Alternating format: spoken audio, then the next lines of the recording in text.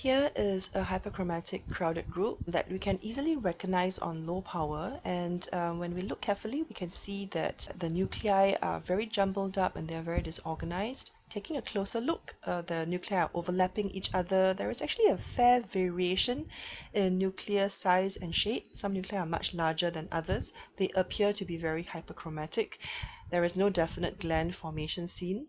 Even in this uh, cell group, you can see that the nuclei are enlarged and hyperchromatic with irregular nuclear membranes. So these are features that suggest squamous differentiation.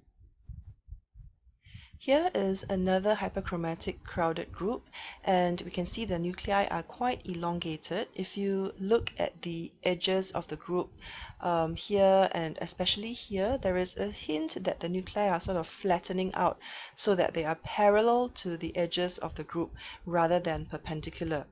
Uh, this parallel arrangement is another feature that suggests squamous differentiation. Again, the organization is very jumbled up. It's very disorganized. We do not see nice uh, strips of cells like we would see in glandular cells or rosette formation. So these features are not present. The nuclei are hyperchromatic. Uh, they are quite irregular.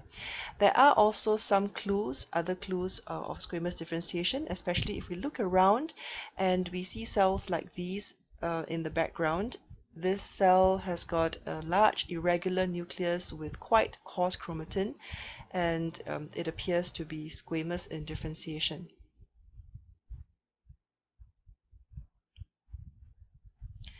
Other abnormal cells we can see would include those as well as a cell that you can see here.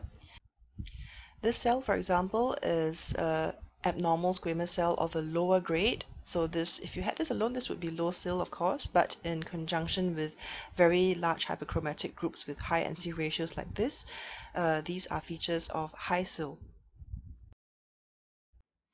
And this is the corresponding histology of the cervical biopsy and we can see indeed that this is a high-grade squamous intraepithelial lesion. Um, there is a mitotic figure here that is nearly halfway up the thickness of the squamous epithelium and another mitosis here.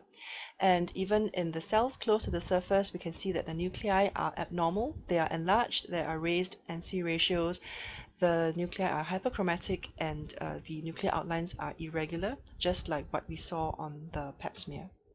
So the diagnosis here is high SIL or high-grade squamous intraepithelial lesion.